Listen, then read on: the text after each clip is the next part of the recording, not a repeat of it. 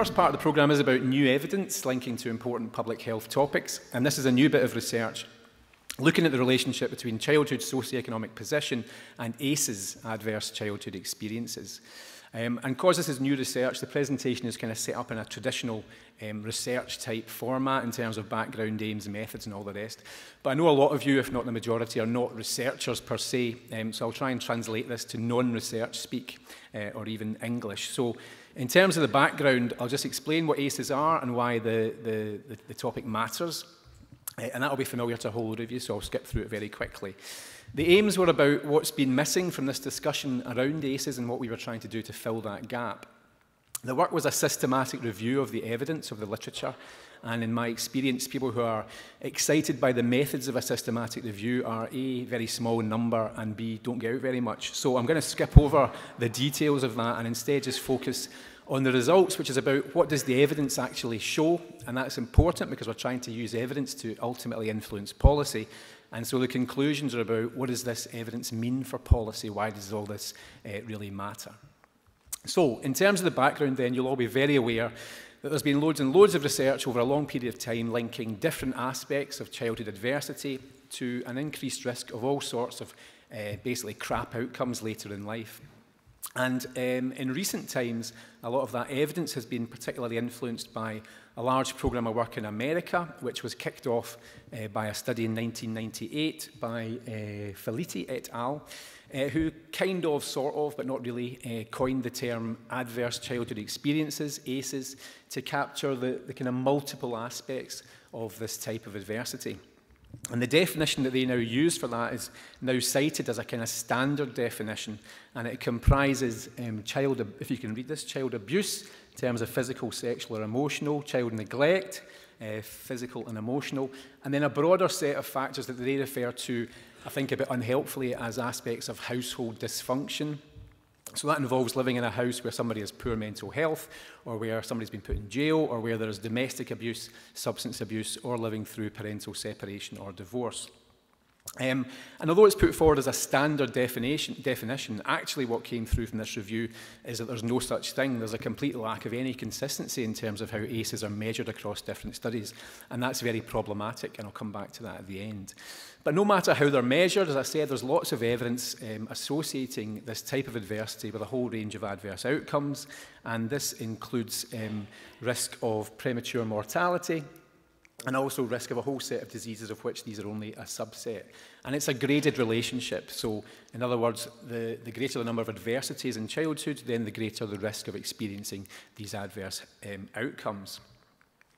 So because of that, it's become a major focus of policy in lots of different places. Um, people always talk about Wales, which isn't something that often happens in my experience, but there's lots of things been happening in Wales with regard to ACEs in policy and um, practice. Um, ACEs have been um, emphasised at UK government level in terms of lots of parliamentary committees and the like. And of course, uh, here in Scotland, they're very clearly an important priority for the Scottish Government. So if, for example, you look at the 2018-19 programme for government, the legislative programme for the Scottish Parliament, uh, ACEs are woven throughout that document uh, under all sorts of different policy topic headings. There's a real emphasis on the need to try and tackle childhood adversity. And on the front cover there, you see wee Nicola looking all chuffed that she's found somebody smaller than herself uh, with which to pose for the photograph. And actually, uh, I saw Nicola Sturgeon speak at the screening of this um, American film on ACEs called Resilience. And she spoke very passionately from the heart about what a massively important topic this is, and it is an incredibly important topic uh, addressing childhood adversity. At the same time, there seems to be a kind of movement in Scotland um, around making the country, uh, quote, the world's first ace-aware nation. And there was a, a conference last September, I think there's maybe another one coming up again, at which literally thousands of people assembled both at the Armadillo um, and also at Hampden Park. Um, and you could pay between £100 for the cheap seats or £150 for the not so cheap seats to hear uh, one of the stars of that film speak and a whole range of other presenters. And if you went to that conference or if you went to the screening of that film that I did, uh, you'd be inundated by all sorts of different publicity material for toolkits, uh, training courses, awareness raising sessions all around ACEs. And I think you can interpret this all in one of two ways either a set of helpful resources with which to help embed ACEs awareness in society, or as an industry cashing in on a um, fashionable phenomenon. I chose my words carefully there. I'm not interpreting, interpreting them in either way, but I'm leaving it up to you. But the real point of putting that up is if you read through all that material, or if you go and watch that film, or you read through a lot of these policy documents, although they focus on ACEs, on adversity, they don't really say very much about the likely influences on ACEs, which is about poverty and broader socio-economic factors. That's kind of all missing from the discussion. Um, which on the one hand, maybe that's okay, because ACEs aren't just about poverty. Um, childhood adversity is seen across different social classes, and indeed, that first American study that I mentioned was actually based on a very skewed sample of white middle-class Americans, and it still showed this association with all sorts of outcomes, adverse outcomes. But on the other hand, if you go back to that definition, so-called standard definition of ACEs, all the components of it are very clearly socially patterned. So I'll show you evidence in a second of the social patterning of um, abuse and neglect. And then if you look at things, uh, things under this heading of household dysfunction, well, we know that poor mental health is mass massively socially patterned, higher prevalence rates among the poorer for obvious reasons. The same is true of incarceration rates, of domestic abuse, of substance abuse, be that around alcohol or be that around drugs. And it's also true in relation to uh, separation and divorce rates, all linked to socio-economic related stresses. So that obviously begs a question then, in all this huge discussion around ACEs and this policy focus on ACEs, what is actually the role of childhood socioeconomic position or poverty in understanding and importantly addressing them. And so from a researcher point of view, then the question is, what's the actual evidence?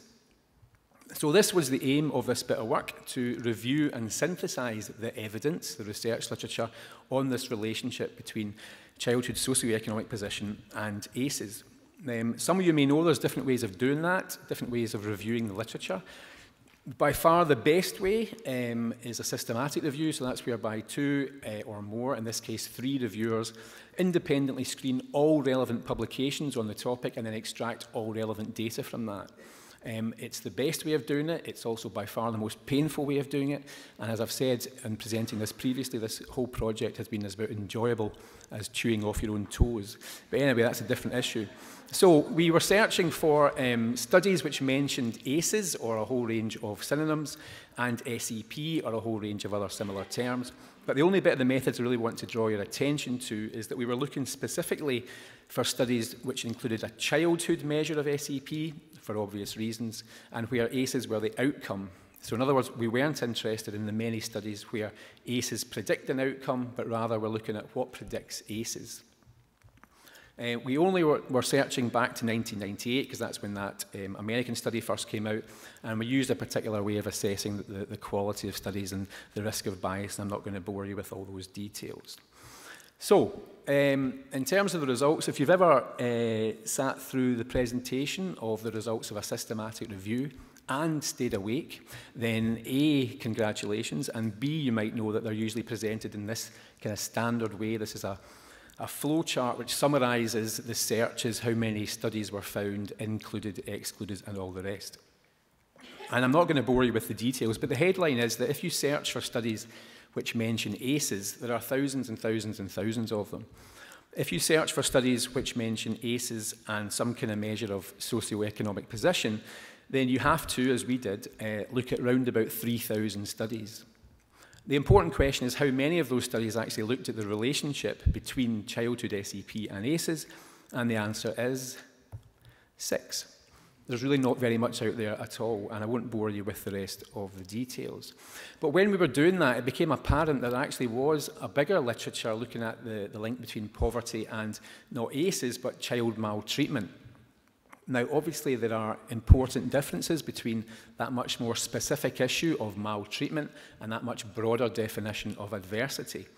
But again, if we go back to the so-called standard definition of ACEs, maltreatment is a huge component of it because the definition of maltreatment uh, is actually child abuse and neglect. So in this definition, that accounts for five of the 10 ACEs. So it seemed important not to disregard that, but to include it in the searches. Uh, so joyfully, we had to do all the searches again, uh, this time looking not just for studies mentioning childhood SEP and ACEs, but childhood SEP and ACEs or maltreatment. And that meant that we um, had to look at about 4,500 papers, again, joy unconfined, uh, of which uh, 35 satisfied the inclusion criteria, which isn't great, but it's better than six um, and gave us something to look at. Again, I won't bore you with the rest of the details other than saying that one of the aims of a systematic review is to do some kind of meta-analysis. That's where you pull together all the results of all the studies and try and, and calculate a kind of overall effect size, in this case, the overall effect of childhood SEP predicting ACEs. We couldn't do that um, this time, basically because of, of what I referred to earlier, the incredible inconsistency in terms of how ACEs are measured. They, they just vary in so many different ways. Um, measures of SEP also vary in 100 different ways too, and the age at which adversity is measured is an important factor, and that uh, changes all the time across different studies too. We've obviously ended up with a relatively small number of papers, uh, and just by the by, about half of those were categorised um, as high-quality papers. But despite those two limitations, what emerged from the available evidence is the fact that the association between childhood SEP and these different measures of childhood adversity is very, very clear. So there are meaningful, statistically significant um, associations uh, seen in just about all the studies, including just about all of those deemed to be high quality. And I'll just flash up um, a handful of them now just to give you a flavour of what the, the, the, the research has shown. So, for example, I don't know how legible any of this will be, but don't worry, I'll talk you through it. Um, this is a study looking at um, a fairly large Brazilian birth cohort, and they looked at the risk factors for experiencing ACEs and showed that children in the poorest households were about two and a half times more likely to experience four or more ACEs compared to those in the least poor households. And children classed as low SEP in terms of maternal education were about six times more likely to experience four or more ACEs compared to those of higher SEP. An American study, and again, don't worry about eligibility, um, it looked at the so-called standard 10 ACEs and how they related to other factors, which included whether or not children were um, born, uh, raised in families where there was frequent family financial problems, and they showed those in that category were associated with, on average, seven of the 10 other ACEs, showing again the clear association between the two. Um, and cheating just a little bit, because actually this study came out just after we'd run the searches, but because it's based on Scottish data, I've included it. And this is based on the uh, Growing Up in Scotland study, which, as you may know, is a large representative um, longitudinal birth cohort, cohort. And that showed that Scottish children in the poorest households are about 12 times more likely to experience three or more races at age eight compared to those in the least poor households. And in terms of the maltreatment searches, again, just a couple of very quick examples. This was a study from Australia which looked at economic risk factors for um, experiencing maltreatment, and the definition of maltreatment actually included witnessing domestic violence, so it's a broader definition, a bit more like the ACEs definition, and showed a clear association between a whole range of different economic risk factors, including being brought up in poverty. This is a Dutch study uh, which uh, is a little bit complicated and collected data from different sources, but the headline is that children in low SEP households defined by parental education were uh, about nine times more likely to experience maltreatment than those in high SEP households, and children in poorer households defined by parental unemployment about six times more likely to experience maltreatment. And the very last example is from a huge study in Australia, which looked at all children uh, born in Western Australia over a 15-year period and among non-Aboriginal children showed that those born in the most disadvantaged circumstances were about 14 times more likely to experience maltreatment compared to those born in the least disadvantaged circumstances. And I could go on and on and on, and I frequently do, uh, but basically from the existing evidence, what emerges is a very clear relationship between socioeconomic position in childhood and the risk of experiencing this type of adversity. And this relationship is robust across countries, the many different measures of SEP and of adversity, and at the age at which adversity is measured. But there's a lot more research into maltreatment, and I think importantly that suggests that in these big discussions around uh, ACEs, childhood SEP or poverty is not integrated into the understanding of what causes them. And I think that's an important point, and it's one that's also been echoed by other people in terms of this decontextualized manner in which ACEs are being discussed. And that's true both of policy and also, as I've just shown you, in terms of research. And there was a really nice paper, um, which you won't be able to read, uh, which came out this year from Michelle Kelly Irving and Cyril Delpierre, who looked at the um, quite dramatic increase in the amount of research into ACEs in recent years. These are publications by year. And they attribute this um, increase to a, a whole range of different factors, most of which they criticise uh, pretty heavily, and suggest that such a sudden increase in this topic may have contributed to the decontextualisation of ACEs from the wider socio-economic landscape and to a mismatch regarding links with policy, which is quite a neat summary of basically what our um, study is also showing. Is there also decontextualization of this type with regard to child maltreatment? Well, not so much, but the importance of poverty is much more clearly expressed in the American literature for some reason, and not so much in the UK literature.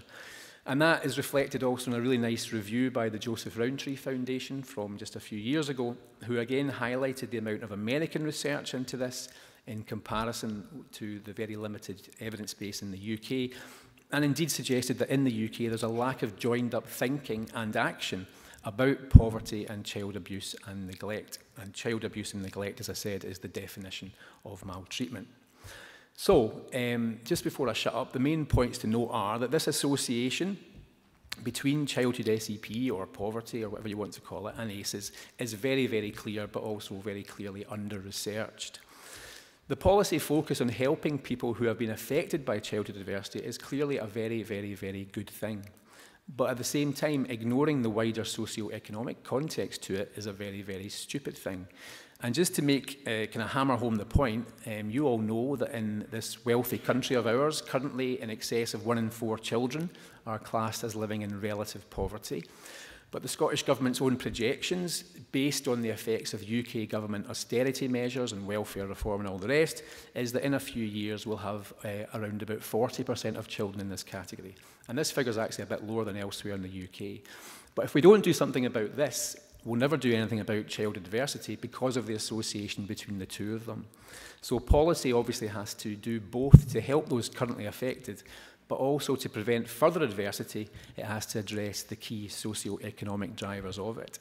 And I would reckon that most people in this room think that's quite an obvious point, but the issue is that there's a lot of people working in this area uh, to whom it's not an obvious point. And at that point, I'll stop talking. Thanks for your time.